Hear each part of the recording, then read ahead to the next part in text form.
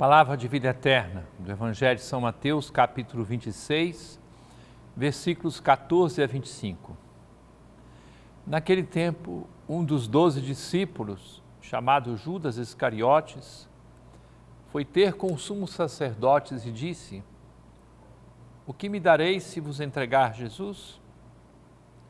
Combinaram então trinta moedas de prata. E daí em diante, Judas procurava uma oportunidade para entregar Jesus. No primeiro dia da festa dos ázimos, os discípulos aproximaram-se de Jesus e perguntaram: Onde queres que façamos os preparativos para comer a Páscoa? Jesus respondeu: Ide à cidade, procurai certo homem e dizei-lhe: O mestre manda dizer: Meu tempo está próximo Vou celebrar a Páscoa em tua casa, junto com os meus discípulos. Os discípulos fizeram como Jesus mandou e prepararam a Páscoa. Ao cair da tarde, Jesus pôs-se à mesa com os doze discípulos.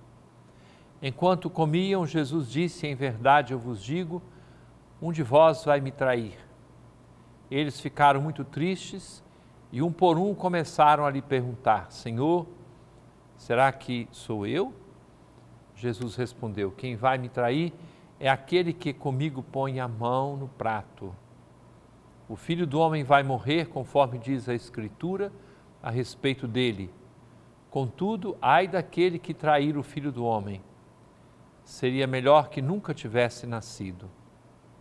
Então Judas, o traidor, perguntou: Mestre, serei eu? Jesus lhe respondeu: Tu o dizes. Querido irmão, querida irmã, nós acompanhamos nessa Semana Santa os acontecimentos que precederam a condenação, morte e depois ressurreição de nosso Senhor Jesus Cristo.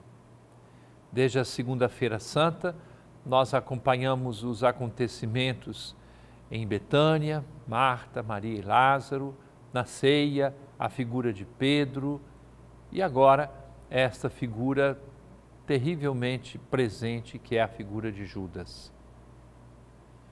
Nosso Senhor foi vendido por 30 moedas de prata. Era o preço de um escravo. O Mestre foi avaliado como escravo. O Pai do céu nos avaliou a nós que somos pecadores, que somos frágeis, com um preço infinitamente superior o sangue do seu filho. Estamos acompanhando uma aventura de amor, um amor infinito, cheio de perdão, de reconciliação, de aproximação de Deus com o seu povo. O amor do Pai, a entrega do Filho, o dom do Espírito Santo nos acompanhem durante esses dias. É palavra de vida eterna.